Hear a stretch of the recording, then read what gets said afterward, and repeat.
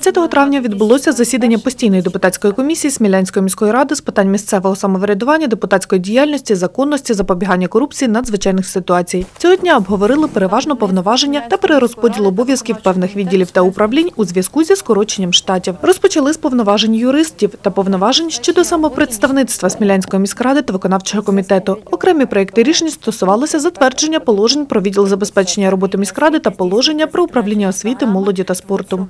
Ми внесли певні корективи. В першу чергу акцентували увагу на розділі номер 2 – це обов'язки та функції управління. Зокрема, мова йде про організацію нормативно-правового забезпечення закладів освіти.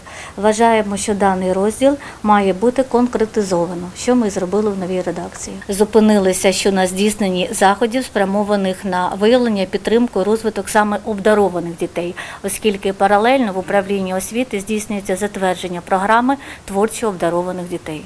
Окрему увагу у положенні приділили і тій частині, що стосується дітей, позбавлених батьківського піклування, котрі потребують додаткової допомоги та підтримки держави. Вчергово у стінах виконкому повернулись і до обговорення міської програми територіальної оборони міста Сміла на наступні п'ять років. Це підрозділ, який базується на базі колишнього військового комісаріату. Цю частину входять е, резервісти, так називаємо, які будуть під час військового стану будуть зібрані для виконання своїх завдань, але обов'язок держави.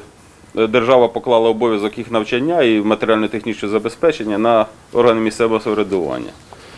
Що було підготовлено цей проект за ініціативи цієї ж військової частини. Програма на 5 років, загальний обсяг фінансування 1 мільйон 579 тисяч гривень. Проте у такий складний і напружений для країни час заперечувати щодо організації роботи в напрямку оборони депутати не стали.